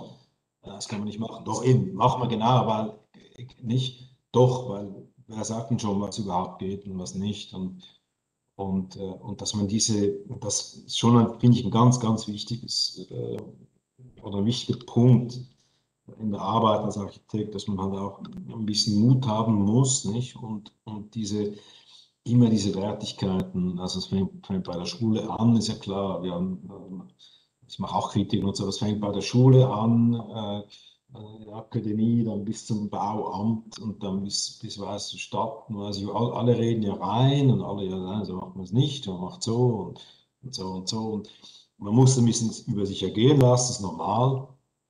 Das ist, auch, ist in Mallorca gleich wie in Zürich, gleich in Barcelona, das spielt gar keine Rolle. Aber man muss dann schon auch, finde ich, äh, den Mut behalten, äh, um die Dinge auch halt äh, anders zu sehen und dann dort daran festzuhalten. Nicht? Das ist ganz, ganz wichtig, weil ist, vieles ist halt über, über Vorurteile, über, äh, Vor, über eben diese Kon Kontaminationen, ne? das muss so sein und, und Architektur ist so und so. Ja, ich denke es nicht so nicht. Und das ist ja eigentlich wahnsinnig toll. Also das ist, du hast teilweise auch so gedacht, äh, im Vorgespräch auch berichtet, so über Meister sein in Sachen machen und, ähm, äh, und, und, und, und äh, hier habt ihr einen, einen glaube ich, einen, einen, Stauraum gemacht, der eigentlich eingezeichnet ist, ja, genau. aber äh, nie, nie, funktionieren wird. Ja. Sachen angesetzt und gefordert sind, die man macht, aber dann anders löst, beziehungsweise räumlich so gar nicht in Erscheinung treten. Ja, genau. Das ist verrückt. Du, du wirst wirklich der Master of, of, uh, of Täuschung, wie man so schön sagt. Dass man, das, dass man diesen, jetzt hier in dem Projekt war es diese Stauräume, die halt einfach PBG oder weiß ich was, diese sechs, sieben oder sechs Quadratmeter kleinen Wohnungen musst du dann oder wegnehmen der Wohnung. Es gab keine Keller und dann verlierst du diesen Raum. Jetzt haben wir den Raum einfach flexibel gemacht mit zwei Türen und der wird Teil von diesem Rundgang. Ist vielleicht eine Ankleidung oder nicht, das kann jeder selber entscheiden, nicht? Und das sind halt dann so Dinge, die, ja, das ist jetzt nicht alles normal. Das, es gibt einfach sehr, sehr viele Regeln, nicht? Äh, Architektur, und da muss man halt einfach einhalten. Und manchmal muss man halt ein Auge zudrücken und ja, komm, also jetzt irgendwie, nicht? Äh, aber das, das, ist, das ist klar, es geht allen Architekten gleich. Das geht von, äh, von der Bauphysik bis, also man, ein Projekt ist ja, man ist, muss ja Meister darin sein, dass man an einem Projekt nicht gleich alle Baugesetze ablesen kann. Nicht? Und das ist ja eigentlich das, das wahnsinnig toll. Also du arbeitest du extrem mit deinen Fachplanern zusammen oder wie fühlst du das eigentlich? Also es ist ja die Frage so, zum Beispiel Bauingenieur scheint ja recht wichtig zu sein in deinen Projekten. Ja, das ist auch noch, also absolut Bauingenieur. Bitte? Wie gehst du da vor mit diesem, diesem Fachplan oder wie arbeitet ihr hier zusammen? Ja, wir arbeiten sehr, sehr nahe zusammen, äh, natürlich immer Planaustausch und, und gut, wir kennen uns jetzt auch schon äh, ziemlich genau, äh, gut mittlerweile. Und oft äh, schütteln sie schon Anfang den Kopf und, und, ich weiß schon, ja gut, und dann kommt dann das schon gut. Und äh, oft ist es natürlich, wollen wir das auch integrieren, also dass, dass jetzt eben die, diese, diese ganzen Fachplaner eben bei, bei der Statik, dass man das dann auch spürt und so. Und manchmal will man das auch nicht, nicht? Und dann äh, muss man mit ihnen ein bisschen reden, dass das halt äh, auch ein bisschen jetzt nicht so konventionell äh, äh gemacht wird. Aber wir kennen uns mittlerweile schon sehr gut. Das, Aber gleichzeitig machst du ja Projekte in der Schweiz, hast solche in Barcelona und auf, auf, in, in, Mallorca. ähm, wenn du dieselbe Betongeschichte in Mallorca machst, ähm, wie kriegst, also die, die, haben ja ganz andere Vorstellungen. Bist du dann vor Ort oder wie arbeitest du dann? Also ich glaube, das Interessante ist ja, das Bauen in der Schweiz sicher ganz anders funktioniert in Zürich wie in Barcelona, wie auf Mallorca. Wie gehst du damit um und wie, wie, wie, wie, also das eine ist die Planung, dass man, dass man, dass man, dass du weißt, dass es so geht, aber wie kriegst du das dann umgesetzt? Also das ist ja nicht ja, ganz. Das, das ist eine sehr gute Frage und, und äh, das ist schwierig. Also, vielleicht mal von der Planung ist es, sind wir einfach immer überdokumentiert als Schweizer. Äh, das ist einfach eine andere Tradition und da denken die, ja nein, das ist ja verrückt. Wir haben noch nie so viele Pläne gesehen ja, für ein Projekt. Bis wir dann das äh, kommunizieren können, ist das, diese Pläne sind ja eigentlich Sicherheit für alle, nicht für die Architekten, die Bauherren und die Unternehmen. Und je genauer mehr Pläne man hat, da gibt es keine Änderungen, nicht? Wenn ich eben komme, ah ja, nein, und, und, sondern es ist alles klar definiert. Und das hat sich mittlerweile rumgesprochen, dass man mit unseren Plänen ein Projekt gut von A bis Z durchbauen kann, ohne weitere Probleme. Und das hat sich, am Anfang haben sie ein bisschen gelacht und so, aber ich bin dann locker. Und am Schluss sind sie dann sehr, sehr froh, nicht? Und eine andere Frage dazu, genau, jetzt aber die Umsetzung, genau, ist natürlich, ja, das haben wir jetzt 15 Jahre, haben wir da äh, beiden Orten gebaut und geforscht und probiert und wollten Sachen auch übernehmen und so, und das geht eigentlich nicht.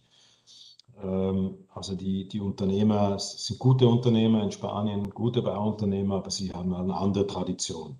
Das geht von, von den erdberührten Bauten, die ganz anders gemacht werden, äh, bis zu einer Zweischaltigkeit, Kartplatten, das kennt man nicht. Äh, also das, das gibt es nicht. Und Sichtbeton an für sich ist einfach eine, wird als sehr, sehr schwierig und als Luxus äh, angeschaut. Und da sind wir schon ein bisschen auf die Welt gekommen, muss ich sagen. Was wir durch deine Landwirtstraße gemacht haben, diesem Typ 2, das, das, kann man sich in Spanien nicht vorstellen. Also ich sage, nein, wisst ihr, Typ 2, das ist Wurst, wenn es kann auch so roh sein und so, sagen sie, ja, ja, aber sie glauben es nicht. nicht? Sie denken, Sichtbeton ist total Wandung. Ja? Und, und, und dann hast du da wieder genau gleich wie diese Vorurteile, das sind zwar Profis, aber sie, sie hören dir nicht zu, aber das passiert eigentlich immer im Leben, nicht? Du sagst etwas und die andere Person sagt, nein, nein, ja, ja, klar, aber versteht es total anders, obwohl du es ganz genau erklärt hast. Und die andere Person äh, versteht es anders, weil sie einfach voller Vorurteile und Wertigkeiten ist, die halt das nicht zulassen, nicht? Das würde aber heißen, dass das Projekt dann doppelt so teuer wird. Ja, weil du dann ja. eigentlich den falschen Beton bekommst, den du eigentlich so nicht bestellt hast. Oder ja. wie gehst du damit um? Oder ja, natürlich lange, lange Diskussionen, ja. Und, und Nimmst du die mal auf eine Schweizer Baustelle und ja, zeigst wie das geht? Oder, oder, genau. oder wie, wie, gehst du damit um? Gezeigt, natürlich, genau, mit, mit äh, Referenzen. Dann haben wir äh, ein Studentenhotel gemacht in Barcelona, wo wir, es waren so ganz einfach, nicht Sichtbeton, sondern Sichtbeton-Hurdisdecken, das so wie jede Garage in Spanien gemacht wird. Mhm. Haben die Sicht gelassen und so, und das konnte niemand glauben. Das nicht, das war, sie haben nicht geglaubt, dass man das so lässt.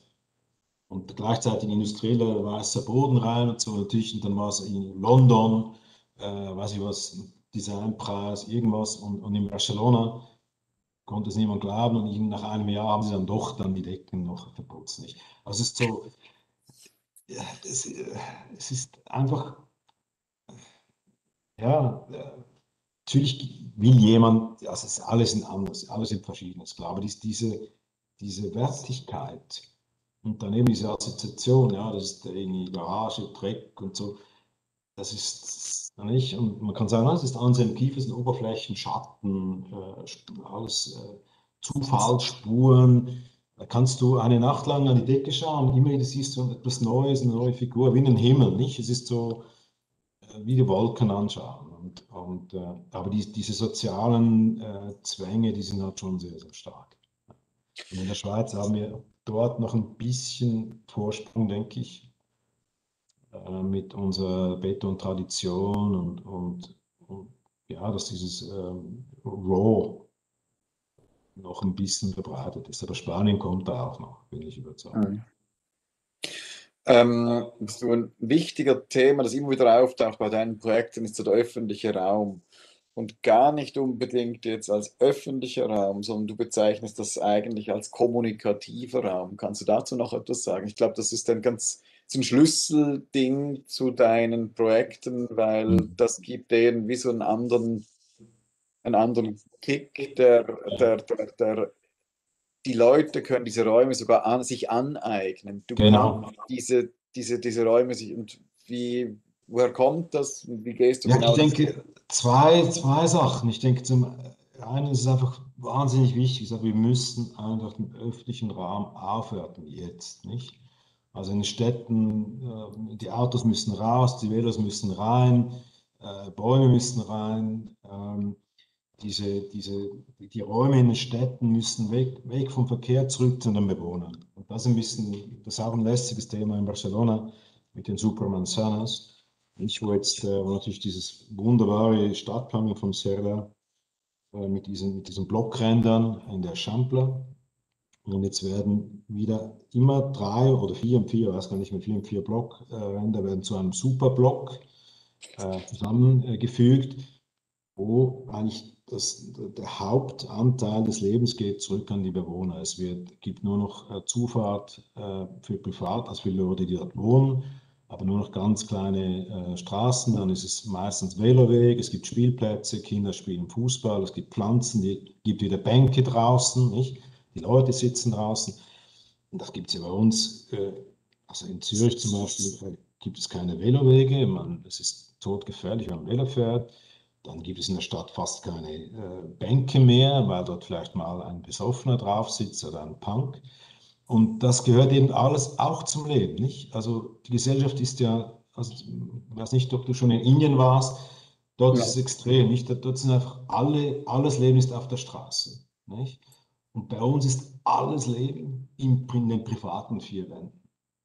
Und, und dann passieren diese komischen Geschichten, dass die Leute immer größere Wohnungen brauchen, immer noch mehr und so, aber draußen irgendwie dann äh, nicht mehr viel passiert. Und diese, diese öffentlichen, halböffentlichen oder die Aufwertung des öffentlichen Raumes, dort sehe ich halt die Parallele jetzt zu Barcelona oder zu, zum äh, mediterranen äh, Bereich, wo eben diese Sachen, also in Barceloneta jetzt wieder mehr, wurde früher immer in der, in der Straße gekocht, die Leute saßen draußen, haben Baie gemacht, Stühle raus, gekocht, gegessen. Da brauchst du kein großes Wohnzimmer. In Barceloneta ist eine ganz, ganz kleine Wohnung. Da kannst du, dann bist du auf der Dachterrasse oder du bist draußen ähm, oder im Park oder, ich war, und, und, oder Kindergeburtstage, die sind nie bei jemandem zu Hause, weil auch viele Leute gar nicht groß genug Wohnungen haben. Also ist das halt dann im Park oder am Strand oder in einem öffentlichen Raum. Und ich denke, da könnten wir, da müssten wir schon noch viel bewegen, eben diese Diskussionen mit Entwicklern, nicht, wenn man sagt, ja, die Dachterrasse, die muss für alle sein. Ja, nein, äh, Attika-Geschoss, Quadrat, nicht wahr? Und das ist, das ist dann so ein kurzfristiges Denken. Weil eigentlich, nicht wahr, das ist, weil das ist so viel Qualität, dass dann so etwas für alle ist. Und ich denke, heute ist einfach jetzt wirklich, also dieses, ich sage es jetzt einfach mal so, dieses, diese Gewinnmaximierung und irgendwie, es ist einfach jetzt vorbei, nicht? Das auch, es geht einfach nicht mehr mit unserem Planeten. Wir müssen zurück, wir müssen weniger äh, und dafür mehr für die Gemeinschaft. Und das denke ich, dort ist der öffentliche Raum genau das Thema, nicht? Und jetzt im Kleinen, eben so eine Dachterrasse, und nicht noch ein Attika draufsetzt, sondern das ist dann für die Menschen, um, oder? Und bei uns, jetzt in der Langwitstraße, dort passiert wahnsinnig viel. Die Leute sind im Sommer immer oben, machen zusammen Gärten, kennen sich alles. Ein wahnsinniger Austausch, habe ich nie gekannt vorher von, von, von, so, von so Häusern. Äh, Im EG wird gegärtnet, auf der Dach wird gegärtnet, es wird zusammen gekocht. Also es sind noch schöne Geschichten irgendwie, muss ich sagen. Machen mir Eindruck. Ja. Und das hilft dir natürlich, dass du diese anderen Bilder auch noch hast, dass du in anderen Lebenswelten auch noch unterwegs bist, um einfach nicht diese Festgefahrenheit, so ist es und so bleibt es, sondern den Kopf auch ein bisschen frei halten und, und andere Sachen auch sehen. Genau. Was ja noch interessant ist, du warst in deiner Jugend viel in Ander. Ja. Also diese, diese, also diese, diesen Bogen vielleicht noch so ein bisschen zurück. Aber was interessant ist dabei, ist ja vielleicht einfach so diese, diese Direktheit von diesen Bauten. Haben die irgendwas vielleicht auch damit zu tun? Das, ja, das, diese ganze, ja, das sind ja wunderschöne, eben diese Stellen mit diesen Steinen und diesen Steindächern, mit den, diesen Hölzern. Und dann wurde es ja immer von den Bauern selber gebaut. Und wenn wir irgendwas, dann haben wir das mal umgebaut, auch mit, mit kamen alle vom Dorf, haben natürlich dann alle zusammen, haben das Dach gebaut, äh, wurde ein Baum irgendwann geschlagen für eine Stütze. Es ist einfach unglaublich äh, so authentisch und, und und so, ja, man fast ebenso wie die Pyramide in Ägypten, nicht? Man sieht halt, wie es gebaut ist, nicht?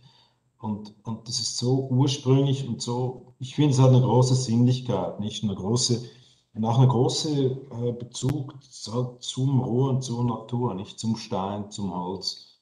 Ja, das hat mich sicher geprägt, auf jeden Fall. Ja. Finde es auch wahnsinnig schön. Mhm. Nein, ich glaube, es ist auch extrem erfrischend, was dass du in deiner Architektur das eigentlich schaffst und eigentlich diese, diese unglaublich, nicht das sind ja keine skulpturalen Räume, die du schaffst, das sind eigentlich, du hast auch keine Fassaden oft, das sind dann oft, sind das mehr, du stehst auf den verschiedenen Seiten und das sind eigentlich Objekte, die verschiedene Funktionen eigentlich haben und eine Struktur bilden, wo das Leben in dieser Struktur dann eigentlich funktioniert was ja extrem erfrischend ist, weil es, weil, weil es so eine Offenheit hat und so eine andere Konnotation, wo das Leben eigentlich da in dieser Struktur viel wichtiger ist als jetzt das Bild vom Leben. Sehr schön gesagt, ja, genau, ja, das würde ich gerne auch so sagen, genau. ja, doch. Gut. Äh, bestehen Fragen noch von Studierenden? Ist noch jemand da? Ja, da sind relativ viele. Sie hören vor allem. Ja, ja ich hätte noch eine Frage. Ähm, bei diesem letzten Projekt hier ist was wie, was ist außen, ähm, wie ist das gedämmt, dieses Haus? Oder ich wurde da Ja, Hugo, ne? Wie? Du, dein Name ist Hugo? Ah, sorry, ja, ich bin der Valerio. Valerio, ah. Ja. Bist du Bündner? Genau, Bündner. Ah. Nein, Valerio, also es folgendes. Diese, diese, das sind ja so 70 Zentimeter Steinwände. Diese, diese Natursteinwände. Äh, Außen ist gar nichts gedämmt, das ist einfach ein, ein, ein äh, normaler äh, Kalkputz, ein organischer Kalkputz drauf. Und das war möglich bei so einem Projekt, wenn man einen Bauteil-Dämmnachweis macht. Ja? Und das heißt, äh, die Dinge, die du irgendwie veränderst, musst du irgendwie äh, nachweisen, dass das dann den heutigen Normen entspricht. Das war natürlich bei den Fenstern ausgemacht, aber bei den Mauern, Innenputzen, so, fällt das quasi weg. Ja, danke. Dann habe ich noch eine weitere Frage. Sie haben vorhin gut erwähnt, dass man bei unserem Planeten ähm, ja, Vorsicht ähm, tragen soll. Und aber ihre Bauten sind die meisten aus, aus Beton. Und was machen sie dagegen? Einfach ist, einfach sie bauen ja auch nicht, weiß ich nicht, wie viel Gebäude. Dann ist es vielleicht auch nicht so schlimm, aber was wäre eine Alternative? Das ist eine gute Frage, Valerio. Also so im Beton ist es ist, es ist eigentlich das, das meiste CO2 produziert durch das Brennen vom Klinker. Ja, Klinker ist so ein Ton, der dann der wird gebrannt und dann wird der wie so, äh, der wird dann so fest und der wird dann wieder äh, gemahlen und das ist dann eigentlich das, was die Steine im Beton äh, zusammenhält.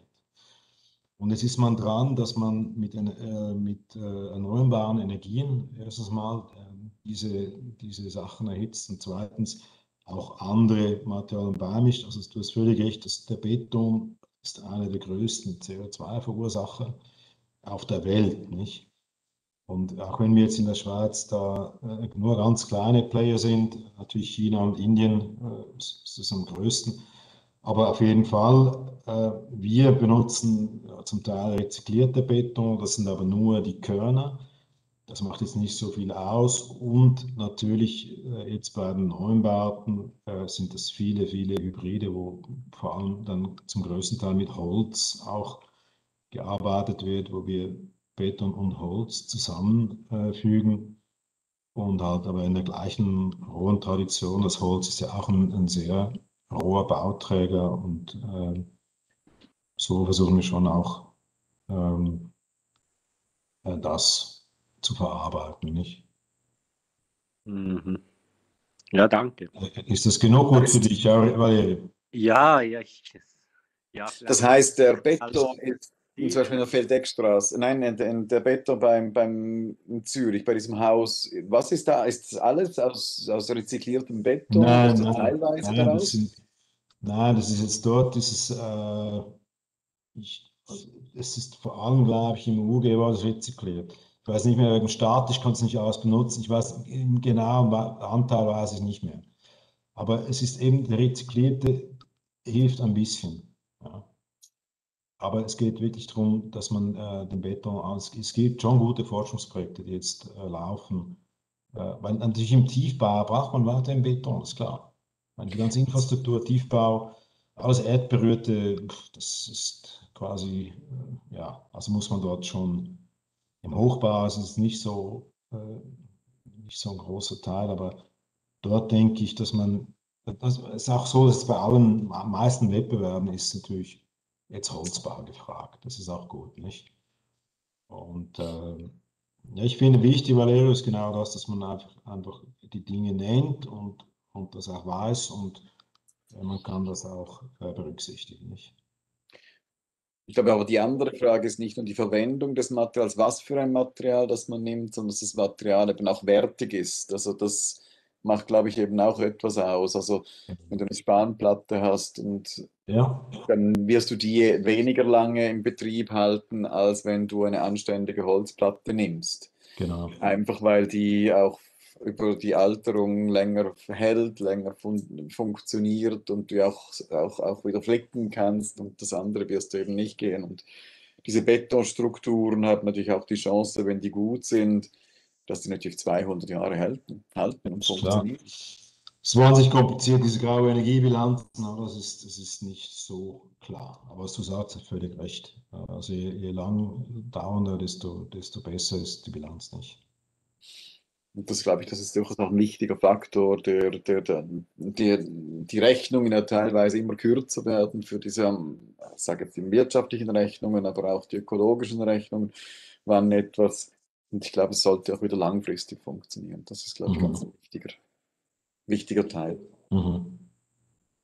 Und trotzdem, gerade das schätze ich an deinen Bauten, dass die eben nicht Bioarchitektur sind im Sinn von die größtmöglichen Kuben eigentlich machen, sondern eben ähm, eine skulpturale, also diese Vorräume, diese Zonen auch schaffen, diese Übergangszonen schaffen. Das ist eigentlich wahnsinnig toll. Auch als Lebensgefühl. Cool. Okay. Bestehen noch andere Fragen?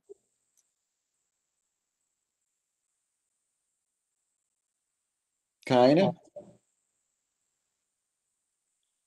Oder noch etwas? Na gut, ich möchte mich ganz herzlich bei dir bedanken. Ganz herzlichen Dank, dass das, dass das möglich gewesen ist, dass du dir Zeit genommen hast für diesen Vortrag finde es extrem inspirierend, deine Projekte, die du uns gezeigt hast, auch die Vorgehensweisen und, und, und deine Arbeitsweise.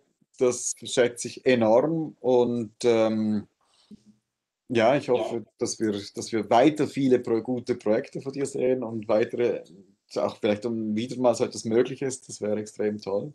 Ganz, ganz herzlichen Dank. Sehr gerne. Ich danke dir, Daniel, und euch und äh, es hat mich sehr gefreut. Und noch ganz kurz einfach so, diese, es ist ja eine, wir haben eine kleine Serie jetzt gestartet in der Architekturtheorie, eben am 28. April haben wir Markus Breitschmied. Ähm, er hat ja das Buch für Valero geschrieben, nicht referenzielle Architektur, über jedes Gebäude ist sein eigen, ähm, wird er sprechen. Und am 26. Mai Cédric Avenier, ein Architekt aus Grenoble, Le Béton dans les Alpes, das wird auf Französisch sein, der Beton in den Alpen, ist genau wieder das Thema, eben Typologie und dieses, dieses de, de Matériaux Brü, Also dieses, das, der Umgang damit, also das, das, die haben wirklich eine Kultur vom Beton, Betonumgang. Und das Erstaunliche ist, die Politik will nur noch Holzbauten, also keine da können das mittlerweile. Und das Holz kommt mittlerweile aus, den, äh, aus, aus Sibirien. Ja, ja, das ist total absurd, was, die da, was ja, da abgeht. Aber es ist total interessant, was da eigentlich ist. Es macht eben Spaß, mit solchen, über solche Sachen auch nachzudenken. Und äh, ja, und deshalb habe ich jetzt diese, diese Leute da noch mal eingeladen. Hm? Ganz herzlichen Dank. Wir sehen uns und ähm, bis bald. Danke. Bis bald, danke. Ciao zusammen. Ciao, ciao. ciao danke vielmals.